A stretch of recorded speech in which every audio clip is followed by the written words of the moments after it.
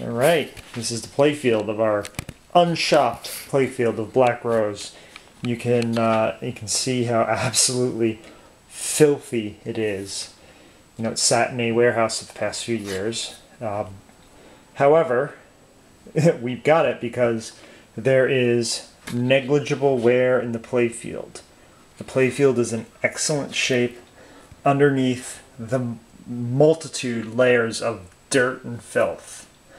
But dirt is easy to get rid of. You can see the, the Whirlpool plastic is normally a nice clear plastic. Yeah, it's just dirty.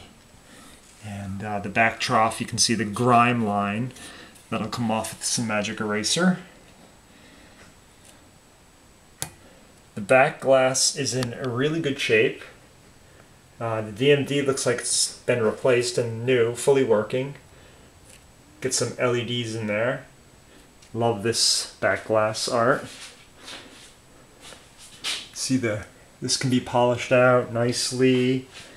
And see what else we have. The Cannon is in really good shape. Just absolutely dirty, but the decal is completely there. The only thing is this, we have this part here, the weld came off. We are going to try and uh, using a high temp solder to solder it, see how well that holds up. If not, we'll do a pop rivet to attach it so that it's fully working.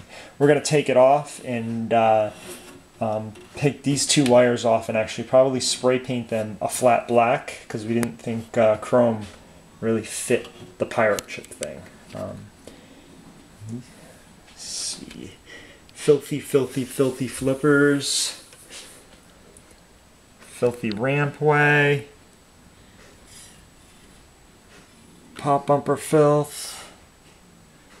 All can be fixed fairly easily.